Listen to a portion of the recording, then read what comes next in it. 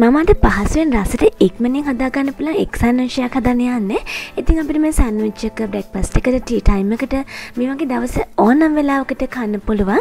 ඉතින් බලම කොහොමද මේ සන්විචක හදාගන්න කියලා. මේ රෙසිපිකි දැක්වෙන අපේ සන්විචක හදාගන්න අපිට අවශ්‍ය කරන දේවල් මොනවද කියලා? ඔයා තවමත් මගේ YouTube චැනල එක සස්ක්‍රයිබ් කරල නැත්නම් වීඩියෝකට පහලින් තින සස්ක්‍රයිබ් බාට්න එක ප්‍රස්ක්‍ර සස්ක්‍රයිබ් වෙන්න. මගේ නවතන් වීඩියෝ එසනින් බලාගන්න. ඒ ළඟම තින බෙල්බන්න එක ප්‍රෙස් කරන්න. ඒ වගේ මේ වීඩියෝක ලයි කරන්න කමෙන්ට් කරන්න ෂයා කරන්න අමත කරන්න එපා. මම මුලින්ම කරන්න බිත්තර ටික මේ විදිහට ලිපෙතිය තඹ ගන්නවා. බිත්තර තඹන එකේ ලොකු ටෙක්නිකයක් නැති වුණත් හිතේ තියාගන්න ඕන එක දෙයක් තියෙනවා. බිත්තර මොන වෙලාවකත් ඕවර් බොයිල් කරන්න එපා.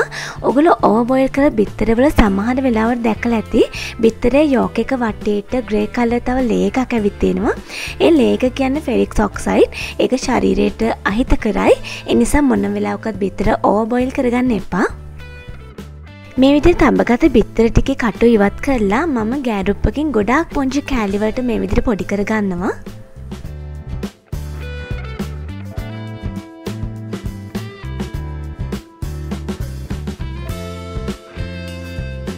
බිත්තර මේ වගේ පුංචිට පොඩිකරගතට පස්සේ එක මික්ස් කරගන්න පුළන් බොල් එකරදා ගන්නවා මීට අමතර මම ලොකු තක්කලි ගෙඩිය පුංචිට කපන් තියෙනවා අමු මිටිස් කරලා කරන් තියෙනවා පොඩි පිපිඤ්ඤ කෑලා කරන් තියෙනවා. ඒ වගේම ලූණු කොළ ටික පුංචිට කපන් තියෙනවා. මේ ඔක්කොම මම මේ බෝල් එකට දාගන්නවා.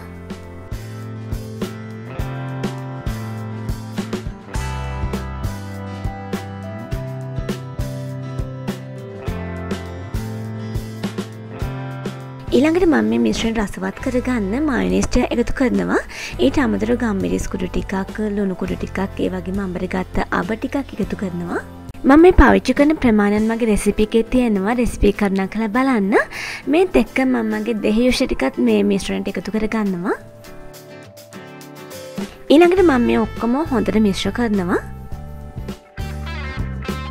මේ මිශ්‍රණය මේ විතර මිශ්‍ර කරද්දී ඒක තියෙන තක්කාලි ටික පිපිඤ්ඤ ටික ගොඩක් පොඩි නොවෙන්න පරිස්සමෙන් තමයි මිශ්‍ර කරන්න ඕනේ. මොකද එහෙම නැත්නම් අපේ මිශ්‍රණය වතුර ගතියක් ඇති වෙන්න පුළුවන්. සැන්විච් එකේ මිශ්‍රණය මේ විදිහට හදාගත්තට පස්සේ මම දැන් සැන්විච් ටික ඇසෙම්බල් කරන්න යන්නේ. මම මේ විදිහට පාන් පිටි දෙකක් අරගෙන එක පැත්තක හදාගත්ත මිශ්‍රණය මේ විදිහට ස්ප්‍රෙඩ් කරගන්නවා හොඳට.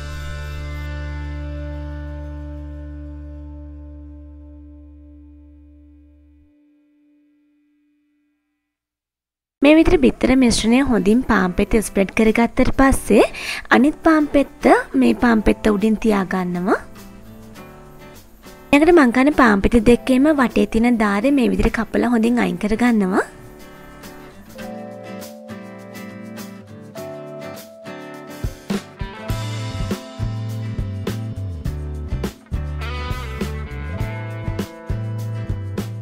ඊළඟට මම මේ පාම්පෙත්ත දෙක මේ විදිහට මැද්දෙන් කපා ගන්නවා.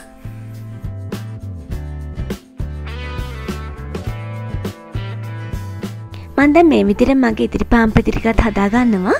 ඉතින් ඔයා ගොඩා කාරි බහුල කෙනෙක් නම් මේ වගේ පහසු ඉක්මන් සැන්විච්චයක් හදලා ඔයාගේ බ්‍රෙක්පස්ට එකට වගේ පවුලයට එකතු කරන්න පුළුවන්. මේක ගොඩක් පහසු ගොඩක් ඉක්මන් වුණාට අපිට බ්‍රෙක්පස්ට එකට අවශ්‍ය හැම පෝෂ පදාර්ථයක්ම අන්තර්ගතයි. මොකද අපි වෙජිටබල් සරන් තියෙනවා එක්සර්ගෙන තියෙනවා. ඉතින් මේ හැමදේම එකතු නම් අපිට ගොඩක් බැලන්ස් බ්‍රෙක්පස්ටයක් හම්බෙනවා. ඉතින් තවත් මෙයාගේ අලුත් රසවත් පහසු රෙසිපියකින් අය අපි හම්බ වෙනක ගිහින් එන්නම්.